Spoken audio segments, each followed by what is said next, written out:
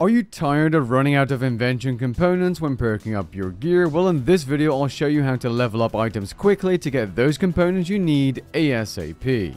Whenever you're ready, grab your cup of tea, sit back, relax, and enjoy. If you haven't already, be sure to subscribe. Let's get started. Leveling invention items for components when you really want them straight away is always a slog. The method in this video is an active method, but it will get you what you need in a very short time frame which is level 9 items to maximize the amount of components you can get from disassembling them. The method in this video isn't necessarily new, but thanks to a recent patch this method has been reborn. I say reborn, but this method has definitely been affected by the common XP rebalance that was introduced with Necromancy. I am of course talking about farming Shattered Worlds with the Feeling Pump Mutator active. This mutator gives you unlimited adrenaline at nearly all times when clearing certain world ranges at the cost of your combat experience. You will still however, be able to gain invention experience with it active. Unlimited adrenaline combined with hard-hitting attacks that have no cooldown is a recipe for trash mob annihilation, and that's exactly what we're aiming to do here. This brings up the most important requirement for this method in addition to the obvious things such as good gear and a high combat level, and that is an Essence of Finality Amulet. This amulet can store special weapon attacks, and you're going to be storing one of the following two weapons depending on which combat style you want to use. If you're using range, you're going to want to store a dark bow. If using melee, you're going to store a dragon two-handed sword. If you are using the ranged combat style, you'll want to be using a buyable item called Mechanized Chinchompas to have all of your attacks, including that dark bow special, function as area of effect damage output. This obviously means you'll need to be using high level ranged offhand weapons such as a Celtic or Sentient crossbow or a glaive. I will not get into too much detail with the rest of the gear but make sure you're using your high level ranged equipment. As for ammunition I recommend using either diamond or onyx enchanted Bakriminel bolts. The melee setup is fairly straightforward as well. Make sure you're using high level gear with perks that increase damage output such as crackling and biting. As the range of your Dragon two-handed weapon special attack can be extended using weapons like a Masuta's War Spear, Dragon Rider Lance, or Noxious Scythe, it is obviously recommended to be using such a weapon. Since the goal of this method is to level invention items, you should know how to increase your invention experience per hour. Buying and activating a full XP capacitor and placing it in your preset will increase the invention item experience you gain by 100%. Playing during a double XP event with the timer active will increase item experience by 50%.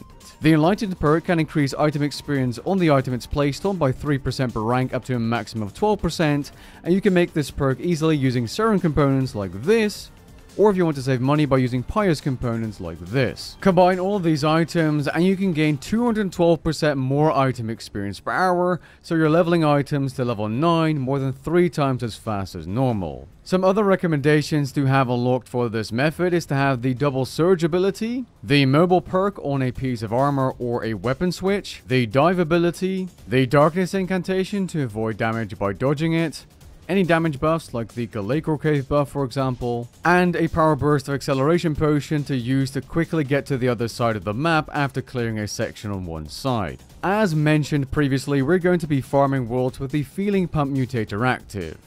As such, we're going to farm worlds 81 to 96 to guarantee the mutator's effect. If you've never done Shattered Worlds before, you will need to clear the previous worlds at least once to gain access to these worlds as a permanent replayable thing. Now, worlds 81 to 96 aren't the only worlds with the mutator, however, it is by far the most casual world range for the average player and thus the one I recommend farming. When it comes down to clearing the worlds using either the Dragon two-handed special attack or the Dark Bow special attack with Mechanized Chinchompas, it is really straightforward. Simply keybind your Essence of Finality ability and spam it at every group of enemies you can see. It's actually a really simple method. If you wish to maximize invention item XP per hour, be sure to try and cluster up enemies by walking back and forth. You clear worlds and Shattered Worlds by doing different things like finding repair kits to repair the portal, dealing a certain amount of damage or killing 75% of the monsters, or even a world boss. If you end up clearing a world early like with the repair kits one, don't be afraid to continue killing groups of mobs if you have a good world because that's where the invention experience comes from. If you find a chest like this one, be sure to click it as it spawns tons of mobs that you can AoE down nicely. Now when going up worlds in between world ranges, you will have to pick another modifier to deal with. These can be positive, neutral, or negative. When given these set of options, always avoid toxic mutators like freezing, explosive, and rockfall. The least destructive mutators are probably hungry, leeching, and static, and honorable isn't actually all too bad when using melee either. I was actually considering Hydra to be a good one for extra experience, but it ended up being more frustrating than anything killing a bunch of mini mobs after the main mobs themselves died. So perhaps avoid this one as well. So what about the rates? Well, when using an XP capacitor and doing this during double XP, I was able to level items to level 9 from 0 in roughly 10 to 60 minutes. This includes failed runs where I died at let's say world 90 due to a stupid mistake, and worlds where I ran out of mechanized chinchompas, and I kid you not, this happened far more than I'd liked it to. So what I'm sharing here are very realistic rates that the average Joe should be able to replicate. This means you'll be leveling 3 to 6 pieces of equipment to level 9 every hour per equipment slot sacrificed for component gain.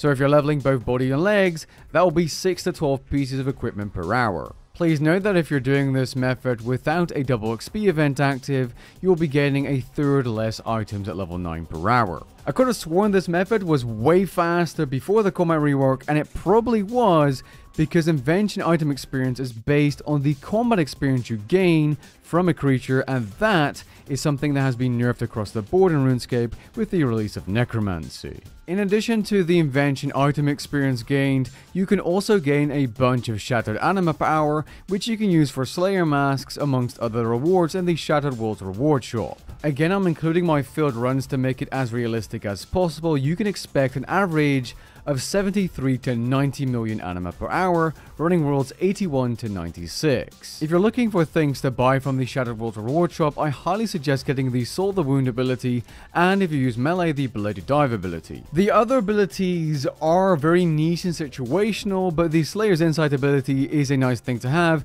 if you're going for 120 or 200 mil Slayer. If you are going for 120 Slayer, having the Mask of the Abyss to force Abyssal Creature tasks is also quite useful. Now there's something else I need to tell you, and that is if you're looking to level Noxious weapons to get Noxious components for your biting perks, well you can also do that using the method in this video.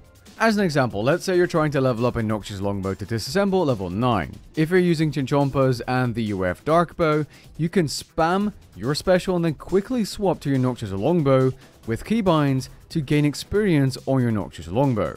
It's a little bit of a tricky method, dare I say even a tedious method, but this will allow you to level up 200 items, and let's be honest, you're not really going to be doing this all too often. You're not going to need a Biting 4 perk for a million armor sets. Only a few, perhaps even just one for now. With that being said, we've come to the end of this video. If you enjoyed it, leave a like down below and maybe even consider subscribing, and I'll catch you guys in the next one. Peace.